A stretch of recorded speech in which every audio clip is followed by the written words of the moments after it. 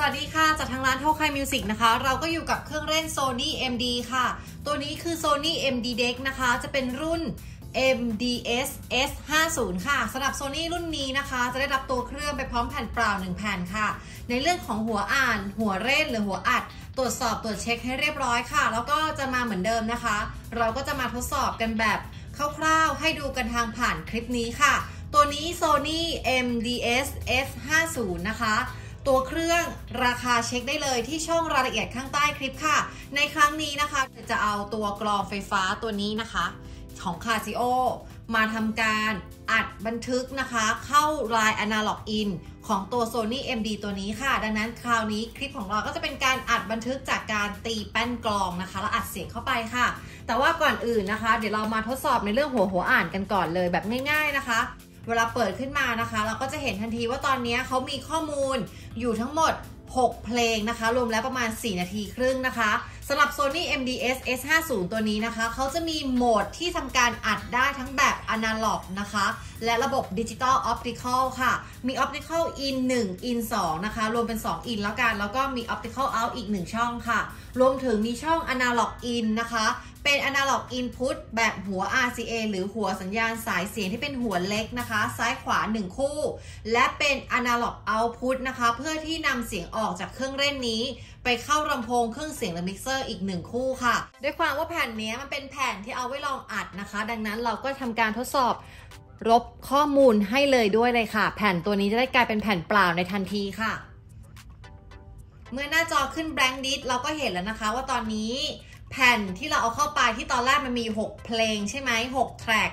มีทั้งหมด 4 นาที 30 วิประมาณนั้นก็กลายเป็นแผ่นเปล่าขึ้นว่า blank disk ค่ะ ตอนนี้ข้อมูลไม่มีคือว่างเปล่าแล้วนะ จากนั้นนะคะ Sony MDS นะคะ 50 ก่อนเราทำการเริ่มอัดเมื่อกี้เราอธิบายไปแล้วนะคะ ระบบอัดของเขา มีทั้งระบบอนาล็อก แล้วก็ระบบดิจิตอลที่เป็น optical port ใช่ไหมคะ แน่นอนว่าถ้าเรา ต้องการที่จะอัดระบบไหนก่อนอื่น เราจะต้องมาดูที่ตำแหน่งตัวนี้ก่อนนะคะ สัญญาณ input ค่ะ เราเอาเข้าสัญญาณแบบไหน analog in เราก็ต้องเลือกเป็น analog in นะคะ แต่ถ้าเราเอาเข้าสัญญาณเป็น optical ช่องที่ 1 ก็เลือก optical 1 ถ้าเป็น optical ช่องที่ 2 ก็เป็น optical 2 ค่ะ เลือกให้เรียบร้อยก่อนทำการอัด อันดับที่ 2 นะคะก็คือ record mode หรือ leg mode ค่ะ อันนี้เราต้องมาตั้งก่อนเลยค่ะ ว่าเราจะทำการอัดเป็นแบบไหน รุ่นนี้นะคะ เป็นรุ่นที่นอกจากจะสามารถที่จะบันทึก และอัดในแบบเขาเรียกว่าตามจำนวนความจริงของแผ่นละกันแผ่นเนี่ยแผ่น MD เปล่าๆเนี่ย มันจะมีนะคะความยาว 74 นาที 80 นาที แต่ทีเนี้ยถ้าเราต้องการที่จะอัดให้มีความยาวที่มันขยายมากไปกว่านั้น อย่างแผ่นอันนี้คือ 80 นาที แต่ว่าถ้าเกิดว่าเราต้องการที่จะอัดให้มันยาวไปมากกว่า 80 นาที เราสามารถทำได้ในเครื่องรุ่น MDS S50 ค่ะ พราะรุ่นนี้เขาสามารถอัดระบบลองเพลย์ได้ ในเป็นรูปแบบ LP2 และ LP4 ค่ะ หรือลองเพลย์4เท่า ลองเพลย์2เท่า หมายความว่าถ้าแผ่นนั้นความยาวอยู่ที่ 80 นาที เราเลือกเป็น LP4 ขึ้นมาแบบนี้แผ่นนี้จะคูณเป็น 4 เท่าค่ะ 320 นาทีในทันทีค่ะ แต่ถ้าเกิดว่าเราเลือก Record Mode เป็นในระบบที่เป็น LP2 บ้างอะ LP2 เล็กแบบนี้ อันนี้คือการอัดและขยายความยาวของแผ่นจากเดิมปกติเท่าไหร่ ก็คูณกลายเป็น 2 เท่าค่ะ นั่นก็คือถ้าเกิดแผ่นเดิมคือ 80 นาที จะกลายเป็น 160 นาทีทันทีค่ะ ดังนั้นตอนนี้นะคะเราจะไม่เลือกอัดแบบนั้นหรอก เราจะเลือกอัดเป็นแบบตามปกติเลย stereo record นะคะ ก็คืออัดระบบซ้ายขวาตามปกติ จากนั้นเรากดปุ่มค่ะ เริ่มต้นรอเลยค่ะ เราจะกดบันทึกค่ะ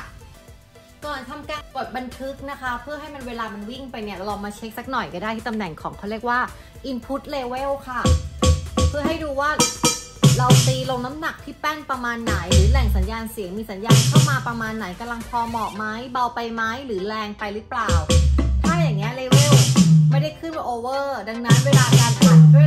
ความตีกันการตีแรงระดับประมาณนี้มันก็จะไม่ทำให้เสียงแตกนะคะ ตอนนี้เดี๋ยวเราก็เริ่มทำการอัดเลยค่ะ โอเค กด play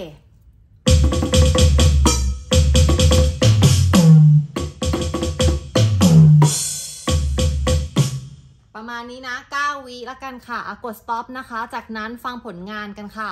เราก็กด play เลย ตอนนี้เรายังไม่ทำการให้เขาเขียนลงแผ่นนะ